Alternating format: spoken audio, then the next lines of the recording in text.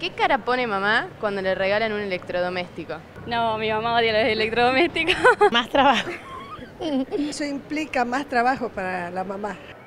Y bueno, no me gusta mucho. Yo prefiero algo que sea para mí. Sorprendida.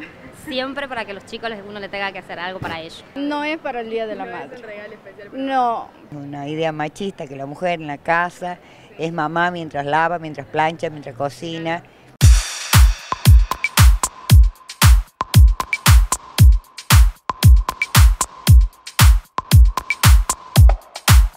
A mí me gusta que mis hijos me den algo que yo voy a disfrutar. Un beso, un cariño, Es es lo mejor que cualquier otro regalo. Tienen que empezar más en mamá. Mamá quiere que las consienta. Mi mamá siempre desde chiquita nos decía para la casa nada, porque es el día de la madre y uno tiene que sentirse bien con las cosas que a uno le regalan. alguna billutería o ropa o algo. Es bien recibido, pero bueno, uno me espera algo más, más que sea más para uso personal. Un abrazo, un beso y, y nada más. El amor de mi hijo y de mi marido, nada más. Nada, material. pasarlo con ella, llevar una torta, unas flores, pasar el día con ella. El tiempo.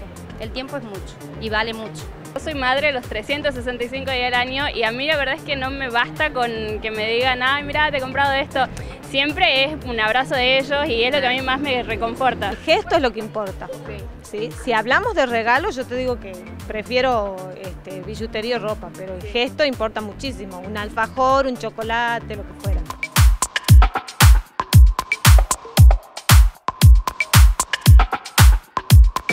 ¿Qué preferís, que te sorprendan o elegir vos el regalo? No, que me sorprende.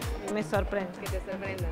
Sí. Yo creo que la sorpresa más linda es el, el que, el que puedan verte tus hijos, el que puedan saludarte y en mi caso nietos y bisnietas. Se lleva dos cosas la madre. Ya, ya tiene los regalos. Ahí lo lleva. Sí, O sea que papá se jugó. sí. Se jugó este Siempre, madre. siempre. Por supuesto, el papá también debe poner un poquito la mano en el bolsillo, ¿no? Las dos cosas. El papá se la tiene que jugar. No, sí, eh, siempre el padre colaboraba. Sí, exigía yo, sí. Emocionalmente, recibir eh, algo hecho por un hijo es muy valorable. Alcanza y sobra con los nenes de jardín.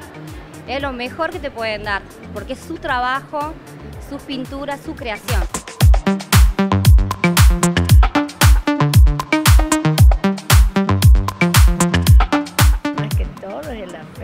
Pero el cariño de un chico, de un- del hijo, del hermano, de cualquiera, eso no pasa nunca.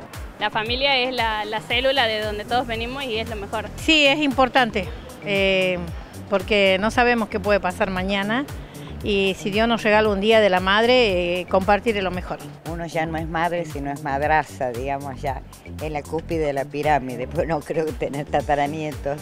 Para mí lo más importante es el amor, El amor. eso es lo principal. Todas las madres un beso grandote, un abrazo y que la pasen muy bien.